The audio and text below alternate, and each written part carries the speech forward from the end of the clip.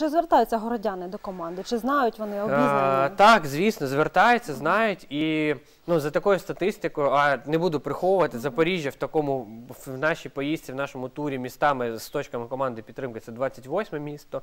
І, власне, е, кілька десятків людей щодня звертаються до такої точки. Саме тому е, найперша така хвиля знаходиться в пунктах масової вакцинації, бо людина отримала щеплення. На щастя, в Запоріжжі використовується медична система Хелсі.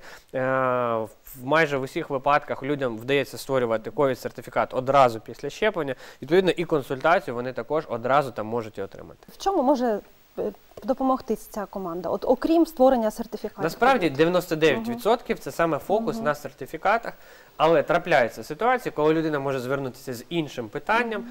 І е, в такому випадку е, у нас наші волонтери в точках команди підтримки дії вони знаходяться в постійному контакті з нашою командою підтримки там на боці урядового контакт-центру, в тому числі, і е, можуть допомогти із вирішенням таких питань.